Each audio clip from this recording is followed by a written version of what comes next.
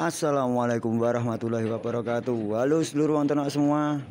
Ini saya berada di kandangnya Pak Bambang. Ini Pak Bambang itu punya domba betina super Babon super lur. Posisinya hamil. Ini ya Yang sebelah Mepet tembok. Yang mepet tembok itu super Kalau yang coklat ini Garut.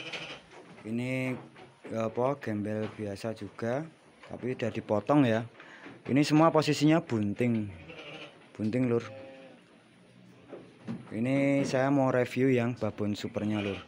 Ini belinya dapat harga di angka 2,8 jadi 2,8 juta. Seperti ini lur.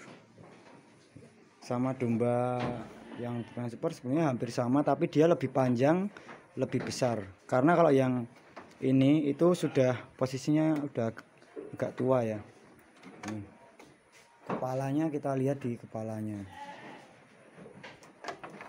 Kepala domba sudah ya seperti itu. Ini masih ada lagi yang lebih besar lagi ya lur ini dadanya. Kalau untuk dombanya sendiri sebelumnya ini apa agak pendek ya lur.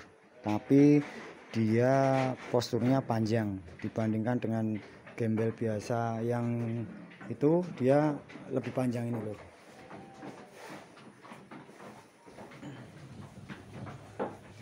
Kalau buat breeding masuk ini.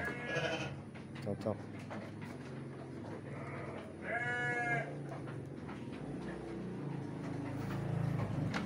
Ini garut.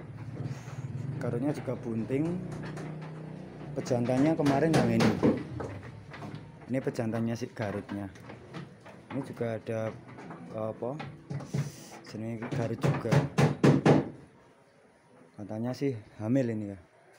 Ini juga Garut tapi sudah dikawinkan.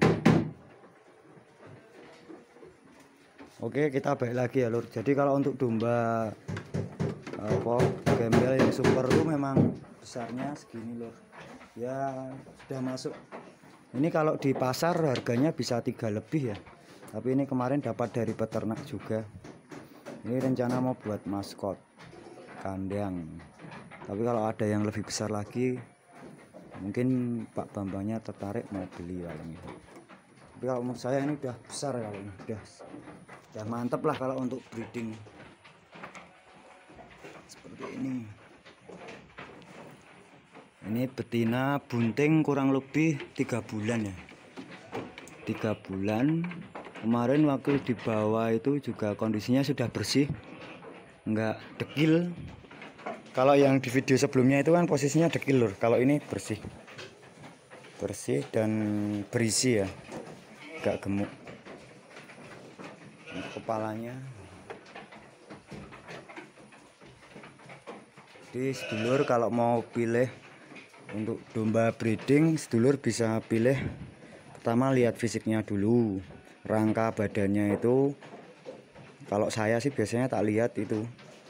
Ya, lebar dada depan terus belakang itu juga agak lebar seperti ini kan lur.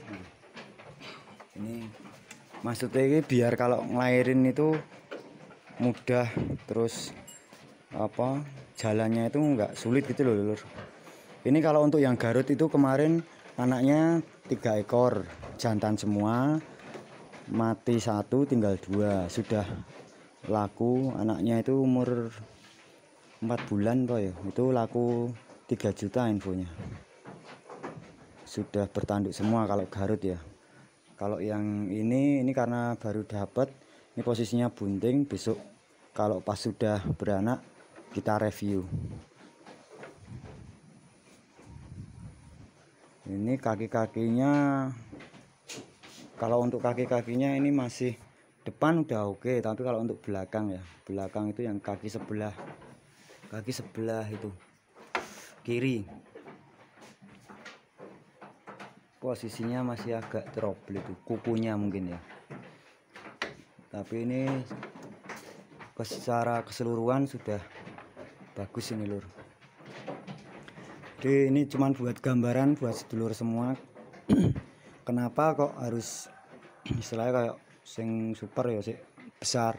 Nah itu nanti biasanya kan ada harga itu ada rupa ya. Jadi nanti kalau dia beranak misal anaknya cuma satu jantan itu ya pasti besar. Kalau anaknya betina juga pasti besar gitu lur. Misal beranak dua itu juga pasti besar-besar anaknya. Daripada yang uh, domba yang kecil itu lur. Yang maksudnya enggak sebesar ini gitu loh. Jadi ya karena manusia ya pasti banyak harapannya. Dengan memelihara yang besar itu harapannya nanti juga anaknya bisa mengikuti bibitnya yang besar-besar. Kalau besar kan lakunya juga agak tinggi. Dan kalau pas kita melihara kita beri makan tuh pasti kan juga seneng lihat tuh dombanya besar seperti itu yang mau brol itu itu. Nah itu. Itu udah mau beranak itu. Tuh. Kalau yang domba yang kecil kita bisa bandingkan ya. Ini kita bandingkan dengan yang kecil ini lur.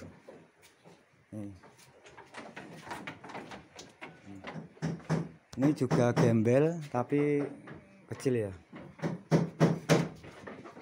Ini diri baru beranak sekali tapi kalau untuk breeding juga oke okay lah. Kemarin anaknya dua jantan-jantan yang satu satu cewek ya kalau nggak salah itu. Seingat saya itu. Tapi juga sudah laku anaknya. Ini yang besar-besar anaknya Pak Bambang. Itu seluruh semua. Itu buat gambaran buat sedulur.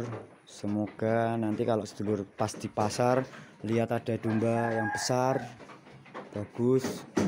Seperti ini ya bisa lihat kepalanya telinganya bulunya. Itu kalau harganya masuk langsung bawa pulang. Bungkus seperti itu.